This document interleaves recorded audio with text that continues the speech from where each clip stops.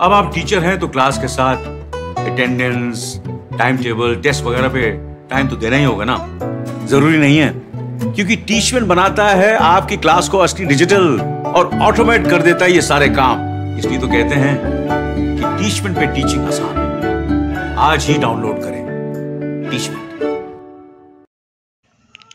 hello everyone welcome to my channel entrance phobia আমি তোমাদের সাথে আছি প্রদীপ সরকার Second professional MBBS student of Bankura Sammilani medical college and hospital আজ আমি তোমাদের সঙ্গে NEET UG two thousand twenty ওয়ানের কাউন্সেলিং প্রসেসটি ডিটেলস আলোচনা করব, যে কত টাকা ফিস দিতে হবে কাউন্সেলিংয়ের জন্য এবং কোন টাকাটি রিফান্ডেবল এবং কোনটি নন রিফান্ডেবল সেটি, সেই বিষয়ে আমি ডিটেলস আলোচনা করব আমার এই ভিডিওতে। তো তোমাদেরকে বলব ভিডিওটি তোমরা শেষ পর্যন্ত দেখো এবং ভিডিওটি যদি ভালো লাগে অবশ্যই তোমরা লাইক করো এবং কোনো কোয়ারিজ থাকলে কমেন্ট বক্সে জানাবে এবং তোমাদেরকে বলব, তোমাদের যদি নিটের কাউন্সেলিংয়ের জন্য গাইডেন্সের প্রয়োজন হয়, তাহলে তোমরা আমাদের টেলিগ্রাম গ্রুপে জয়েন হয়ে যাবে।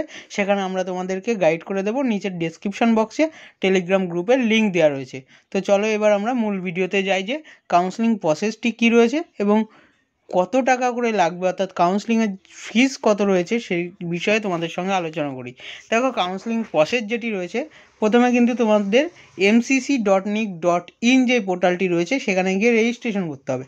রেজিস্ট্রেশনের পরে কিন্তু choice filling choice locking process থাকবে এবং তারপরে দেখো সিট অ্যালটমেন্ট হবে রাউন্ড ওয়ানের জন্য এবং অ্যালটমেন্ট হওয়ার পরে দেখো, তোমার যেখানে অ্যালট হচ্ছে মেডিকেল অর্থাৎ যেই মেডিকেল কলেজে অ্যালটমেন্ট তুমি পাচ্ছ, সেখানে গিয়ে তোমাকে রিপোর্টিং করতে হবে, অর্থাৎ রিপোর্ট করতে হবে এবং রিপোর্ট করার পরে দেখো, তারপরে কিন্তু সেকেন্ড রাউন্ডের জন্য ভ্যাকেন্ট সিট পাবলিশ হয় এবং তারপরে আবার রেজিস্ট্রেশন করতে হবে যদি প্রথম অর্থাৎ ফার্স্ট রাউন্ডে না পার্টিসিপেট করে থাকো, আর যদি ফার্স্ট রাউন্ডে যদি পার্টিসিপেট করে থাকো, তাহলে ফেস চয়েস ফিলিং করতে হবে, ঠিক আছে?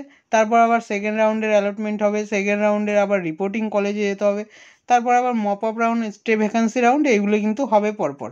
ঠিক আছে? তারপরে আমি তোমাদেরকে আসি, যেটি মূল প্রশ্ন ছিল, অর্থাৎ মূল বিষয়টি ছিল যে এআইকিউ এর কাউন্সেলিংয়ের জন্য কত টাকা ফিজ লাগবে? এই বিষয়ে কিন্তু তোমরা অনেকে আমার আগের ভিডিওতে কমেন্ট সেকশনে জানতে চেয়েছিলে। তো আমি এই ভিডিওতে তোমাদের সঙ্গে শেয়ার করতে চলেছি যে এআইকিউ এর কাউন্সেলিংয়ের জন্য যে কত টাকা করে ফিজ লাগতে পারে। অর্থাৎ কত টাকা করে লাগবে সেই বিষয়ে তোমাদেরকে বলব। দেখো, এখানে তোমার ফিফটিন পার্সেন্ট এআইকিউ বা সেন্ট্রাল ইউনিভার্সিটির জন্য ইউআর ক্যাটাগরিদের জন্য কাউন্সেলিং ফিজ যেটা রয়েছে নন রিফান্ডেবল সেটি কিন্তু হাজার টাকা, অর্থাৎ ওয়ান থাউজেন্ড রুপিস এবং এসসি এসটি ওবিসি এবং পিডাব্লিউদের জন্য কিন্তু কাউন্সেলিং ফিজ যেটি নন রিফান্ডেবল সেটি হচ্ছে পাঁচশো টাকা এবং ইউআর ক্যাটাগরির জন্য যে সিকিউরিটি ফিজটি লাগবে, যেটি রিফান্ডেবল সেটি হচ্ছে দশ হাজার টাকা এবং এসসি এসটি ওবিসি এবং পিডাব্লিউডিদের জন্য যে সিকিউরিটি ফিজটি লাগবে, সেটি হলো পাঁচ হাজার টাকা। এই সিকিউরিটি ফিজটি কিন্তু রিফান্ডেবল ঠিক আছে? অর্থাৎ যেই সিকিউরিটি ফিজটি তোমার ইউআর ক্যাটাগরির জন্য দশ হাজার টাকা দিতে লাগছে এবং রিজার্ভ ক্যাটাগরির জন্য কিন্তু পাঁচ হাজার টাকা দিতে লাগছে, সেটি কিন্তু রিফান্ডেবল অ্যামাউন্ট ঠিক আছে? এবং তারপরে দেখো, ডিমড ইউনিভার্সিটির জন্য অল ক্যাটাগরির কিন্তু সেম এখানে কিন্তু রিজার্ভ ক্যাটাগরির জন্য কোনো কম নেই। অর্থাৎ অল ক্যাটাগরির জন্য কিন্তু পাঁচ হাজার টাকা কাউন্সেলিং ফিজ লাগবে, যেটি নন রিফান্ডেবল ডিমড ইউনিভার্সিটির জন্য এবং সিকিউরিটি মানি যেটি লাগছে সেটি হলো দু লক্ষ টাকা। অর্থাৎ দু লক্ষ টাকা হচ্ছে সিকিউরিটি ফিজ লাগবে, এটি রিফান্ডেবল এবং পাঁচ হাজার টাকা লাগবে নন রিফান্ডেবল যেটি কাউন্সেলিং ফিস ডিমড ইউনিভার্সিটির জন্য। তারপরে দেখো কাউন্সেলিং ডেট সম্পর্কে বলি তোমাদের। দেখো registration for round one round ওয়ানের রেজিস্ট্রেশন কিন্তু উনিশে জানুয়ারি থেকে চব্বিশে জানুয়ারি পর্যন্ত হবে এবং দুপুর বারোটা পর্যন্ত। চব্বিশে জানুয়ারি দুপুর বারোটা পর্যন্ত কিন্তু রেজিস্ট্রেশন হবে। তারপরে চয়েস ফিলিংয়ের ডেট দেওয়া রয়েছে কুড়ি জানুয়ারি থেকে চব্বিশে জানুয়ারি পর্যন্ত এবং এটি এগারোটা পঞ্চান্ন পিএম অর্থাৎ রাত এগারোটা পঞ্চান্ন মিনিট পর্যন্ত কিন্তু হবে। এবং তারপরে দেখো সিট অ্যালটমেন্ট প্রসেস যেটি সিট অ্যালটমেন্ট প্রসেসের জন্য রয়েছে দুদিন, সাতাশ থেকে আঠাশ তারিখ। এবং রেজাল্ট ফর রাউন্ড ওয়ান যেটি রয়েছে সেটি কিন্তু উনত্রিশ তারিখ, অর্থাৎ উনত্রিশে জানুয়ারি কিন্তু রাউন্ড ওয়ানের রেজাল্ট পাবলিশড হবে। অর্থাৎ অ্যালটমেন্ট লেটার কিন্তু দেওয়া হবে উনত্রিশ তারিখে এবং রিপোর্টিং টু অ্যালোটেড কলেজ অর্থাৎ জানুয়ারির তিরিশ থেকে তিন তারিখ পর্যন্ত কিন্তু রিপোর্টিং ডেট রয়েছে, অর্থাৎ অ্যালোটেড কলেজে কিন্তু রিপোর্টিং ডেট তিরিশ তারিখ থেকে তিন তারিখ পর্যন্ত কিন্তু রয়েছে।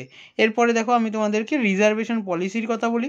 দেখো এসসির জন্য ফিফটিন পার্সেন্ট রয়েছে এসটির জন্য সেভেন পয়েন্ট ফাইভ পার্সেন্ট রয়েছে পিডব্লিউডির জন্য রয়েছে কিন্তু ফাইভ পার্সেন্ট ওবিসির জন্য টোটাল রয়েছে সাতাশ পার্সেন্ট অর্থাৎ টোয়েন্টি সেভেন পার্সেন্ট এবং ইডাব্লিউএসের জন্য কিন্তু রয়েছে টেন পার্সেন্ট এটি হলো রিজার্ভেশন পলিসির গেল। তো আশা করছি তোমরা পুরো বিষয়টি বুঝতে পারলে যে ফিস কত টাকা লাগছে, কোনটি রিফান্ডেবল কোনটি নন রিফান্ডেবল এবার আমি তোমাদেরকে বলব, তোমরা যদি আমার চ্যানেলে নতুন হয়ে থাকো, তাহলে অবশ্যই চ্যানেলটি সাবস্ক্রাইব করো। সাবস্ক্রাইব করে পাশে থাকা বেল আইকনটি প্রেস করে অল করে দাও, যাতে পরবর্তী ভিডিওগুলির নোটিফিকেশান তোমরা পেয়ে যাও, কারণ পরবর্তীতে কিন্তু তোমাদের জন্য থাকব অনেক অনেক অনেক নতুন ইনফরমেশান এর, এবং তোমাদেরকে বলব, তোমরা আমাদের টেলিগ্রাম গ্রুপে জয়েন হয়ে যাও, সেখানে আমরা তোমাদেরকে নিটের কাউন্সিলিংয়ের জন্য গাইড করে দেবো। তো চলো, টাটা, দেখা হবে আবার পরের ভিডিওতে নতুন কোনো ইনফরমেশান নিয়ে।